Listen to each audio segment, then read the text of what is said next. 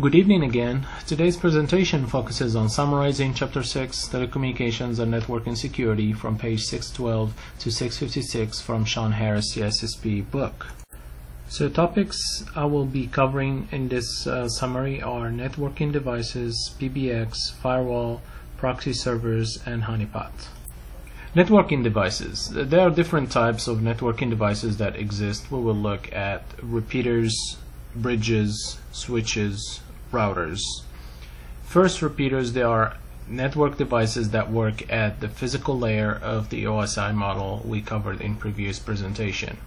Repeater is used to receive a signal, regenerate it, and pass it on.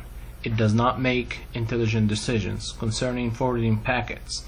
Example of hubs, they can actually be considered multi-port repeaters since a hub sends all traffic that is received to all other devices or hosts connected to it. Collisions are more likely to occur.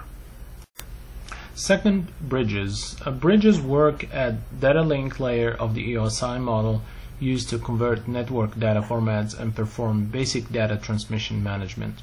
They provide connections between local access networks one of the functions is to make intelligent decisions about, about whether or not to pass signals onto the next segment of a network. Do not confuse routers with bridges. Routers work, work at the network layer of the OSI model and filter packets based on IP addresses, whereas bridges work at the data link layer and filter frames based on MAC addresses. Bridges do pass broadcast information, routers don't. So the idea behind a spanning tree protocol is bridges can discover a subset of the topology that is loop free. It also makes certain there is enough connectivity to reach every portion of the network. Next, switches. A switch is sometimes described as multiple bridge it can have multiple ports to connect network segments while a bridge usually has only two ports that connect network segments. A switch is more sophisticated than a bridge. Um, switches learn information about the data packets that are received and use this information to build tables to determine the destination of data that is sent between computers on the network. In order to prevent traffic jams, a switch makes sure that data goes straight from its origin to its proper destinations. Switches remember the address of every node on the network and anticipate where data needs to go. A router is needed in order to send data out of the internet or across a WAN since switches are not smart enough.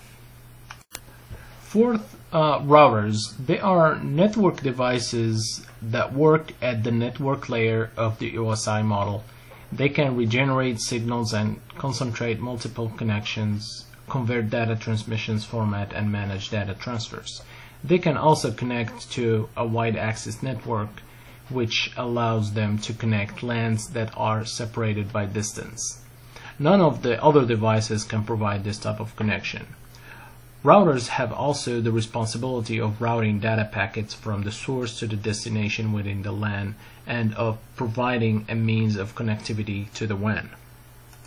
Next, Layer 3 and 4 switches. Layer 3 switches use network or IP addresses that identify locations on the network. They read network addresses more closely than Layer 2 switches. They identify network locations as well as the physical device. A location can be a landmark station, a location in a computer's memory, or even different packets of data traveling through through the, the network. Switches operating at the layer 3 are smarter than layer 2 devices and incorporate routing functions to actively calculate the best way to send packet to its destination. But although they are smarter, they may not be as fast if their algorithms fabric and processor don't support high speed. Layer 4 of the OSI model coordinates communications between systems.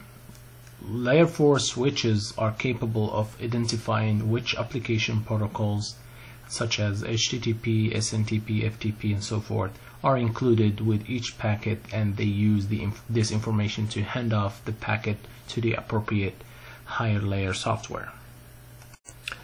Virtual Local Area Networks or VLANs. A virtual local area network is the logical grouping of nodes on different physical LAN segments which can communicate with each other as if they were all on the same physical LAN segments. For example, in an office, the marketing department data may be on one of VLAN whereas IT department data resides on another. VLANs can be spread across switches when the number of nodes in a network is large or spread over an area that cannot be reached by a single switch, so multiple switches are used. VLANs limit the broadcast domain, improve security and performance, and are ideal for separating industrial uh, automation systems from information technology systems. Next, gateways. One definition of a gateway is a software running on a system or other device that acts as a translator between two systems that do not use the same communication protocol, data formatting structures, languages, and architecture, and like the bridge.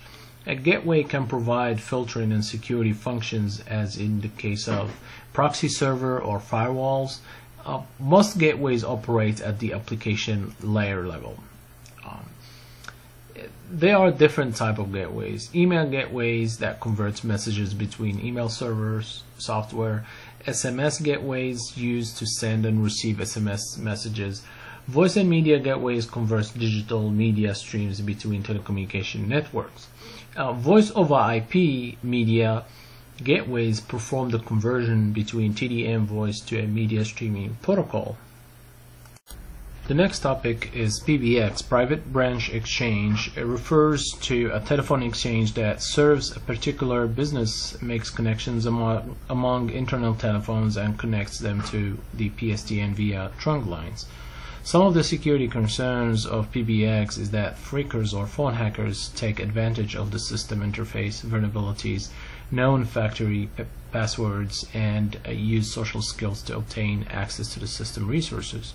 Once a phreaker has successfully hacked into a PBX system, he might exchange the information with other phreaker, phreakers, implement callback schemes, or place long distance calls that are built to the company.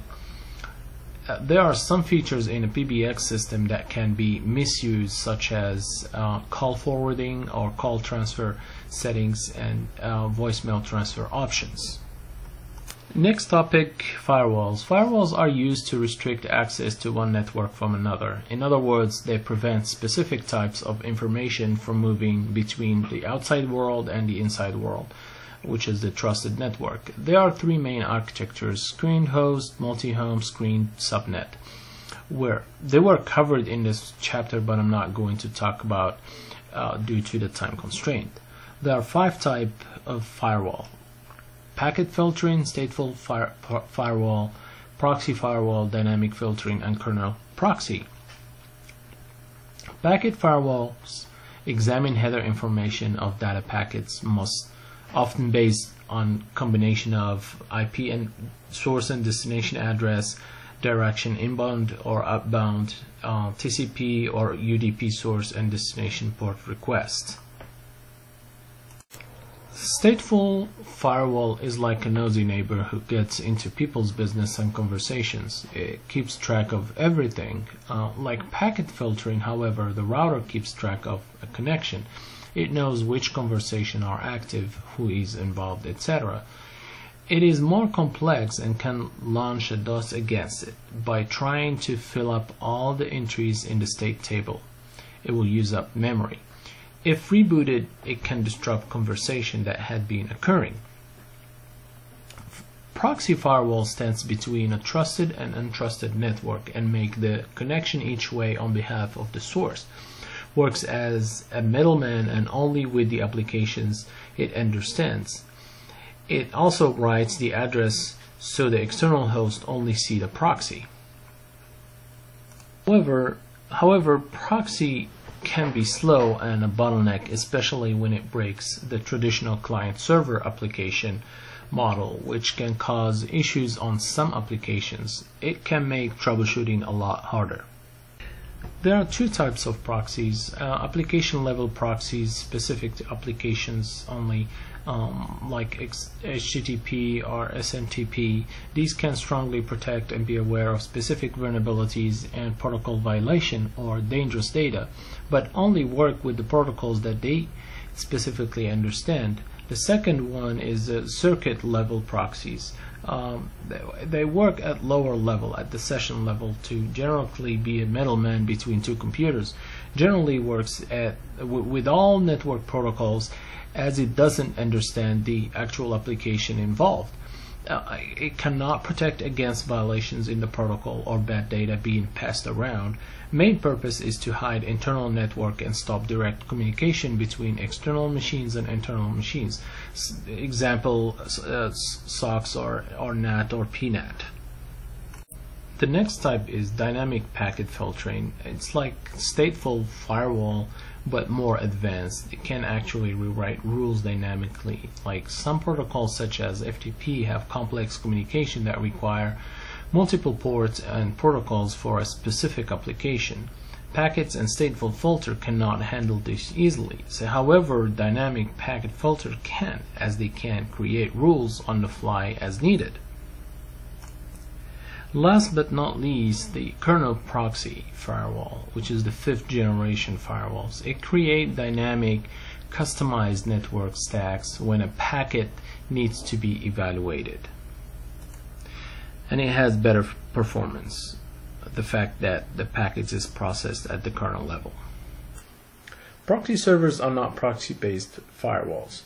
They act as an intermediary between the client that wants access to certain services and the servers that provide those services. There are different type of proxy servers. Forwarding proxies are usually working as a messenger between the, a private network and the public network, for example, internet to handle outbound requests.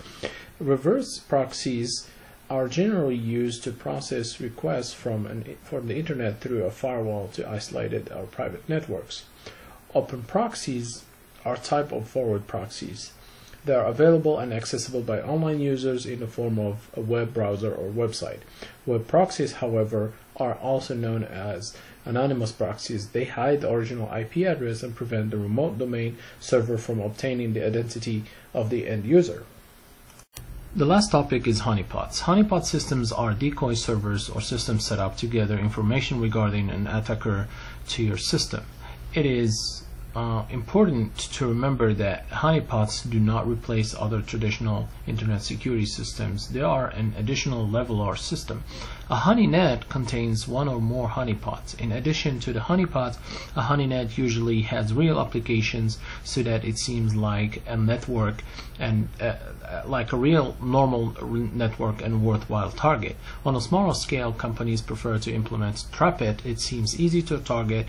It is an internet attached server that acts as a decoy, luring in potential hackers and responding in a way that causes their machine to get stuck, sometimes for a very long time.